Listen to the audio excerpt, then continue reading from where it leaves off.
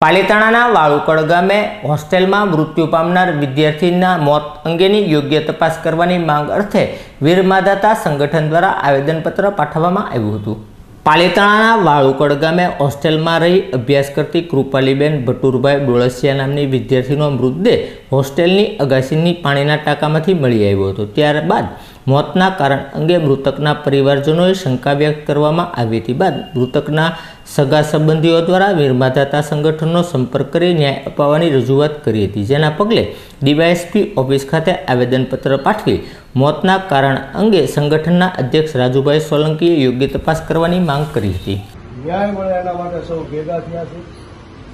સાહેબને આપણે જે શંકાઓ હતી એમાં કાકાની હાઈટ અને દીકરીની હાઈટ બેની સમાન હોય એટલે આત્મહત્યા થઈ શકે નહીં તેવું સ્પષ્ટપણે જોઈ શકાય.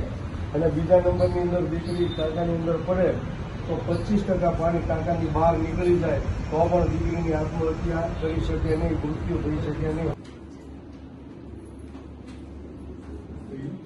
વીર માનદાતા પોલીસ સમાજ સંગઠન અધ્યક્ષ કોળી રાજુભાઈ સોલંકી.